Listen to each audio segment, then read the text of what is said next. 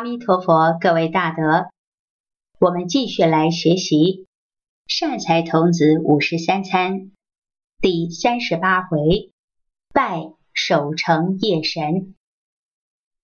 上一回提到，善财拜见了极尽阴海夜神，极尽阴海夜神说：无量劫来，有许多佛出世成正觉。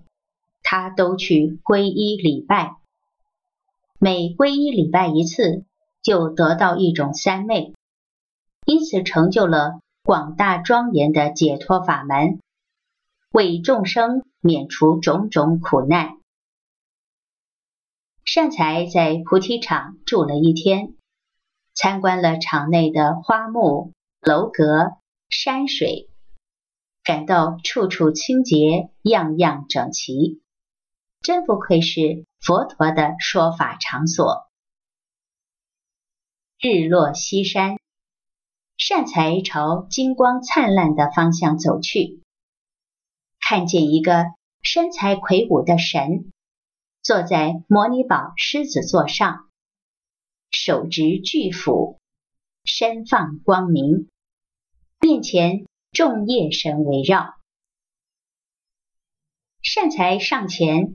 先又绕树匝，在顶礼说道：“我名善财，已发菩提心，欲利乐有情，造福人间，尚不知如何修，如何行，如何利益众生，请圣者慈悲教诲。”夜神站起身来，扶起善财道：“善男子。”我只守菩提场，有什么能告诉你呢？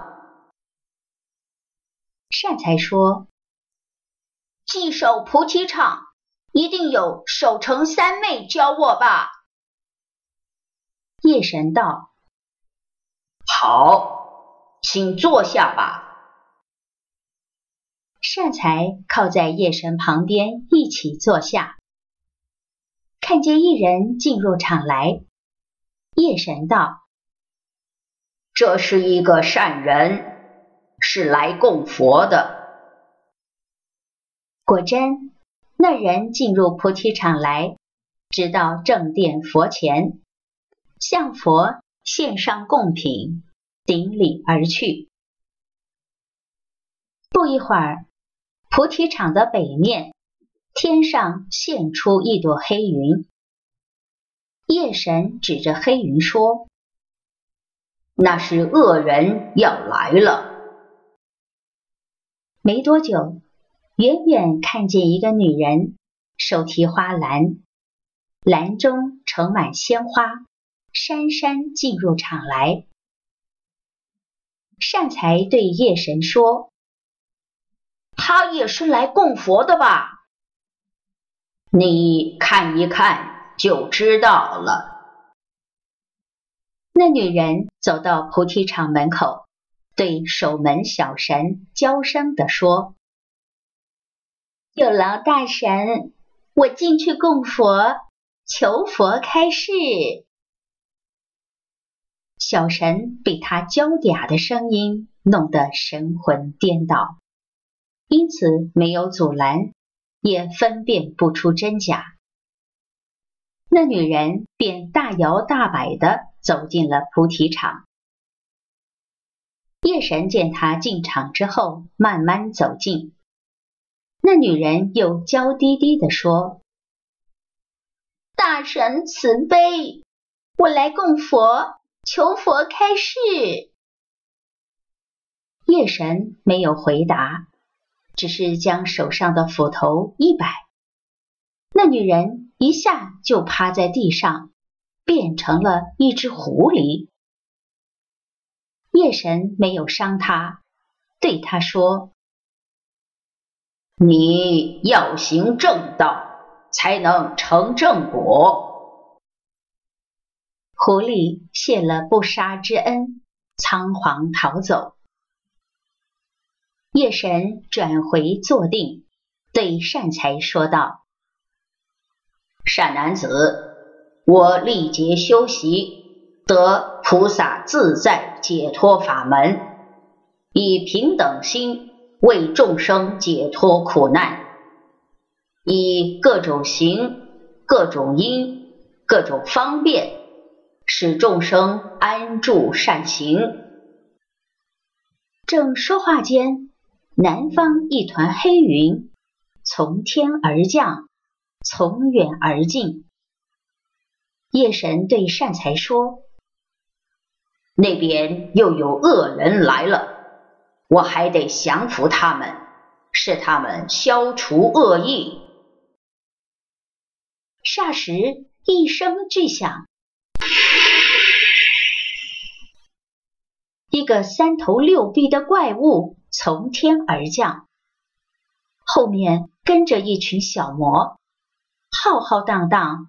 杀奔菩提场而来，夜神离开宝座，上前迎敌，双方兵刃相见，你来我往，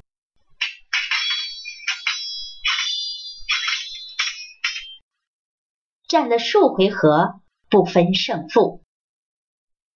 那怪物突然使出法力，将手一伸，一只雕鼠扑向夜神。夜神的左臂被咬伤，夜神并不恼怒，右手举斧砍去，怪物不见了。夜神端身正面，撒开娑婆若网，收网一看，果然是个阿修罗。夜神问道。你夜闯菩提场，所谓何来？阿修罗道：“这还用问？为了吃供佛的美食。”夜神说道：“你的嗔心太重，使你从内心不得清净，这是很痛苦的事。你应该有大悲心。”要想到别人的痛苦和你的痛苦一样，己所不欲，勿施于人。阿修罗惭愧作礼而去。夜神对善财说：“我在过去法海雷音光王时，为法轮化光比丘尼。”就发心守护菩提场，这菩提场就是正法城。后经百千佛出世，我都为守城神。我的守心城三昧就是善守心城。善财道，定尊教诲要善守心诚。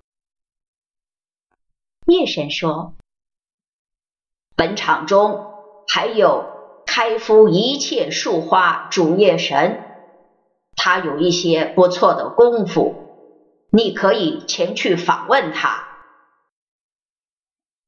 善财得到善守成三昧，心生欢喜，作礼而去。善财童子五十三参第三十八回。拜守城夜神，介绍完毕。南无阿弥陀佛。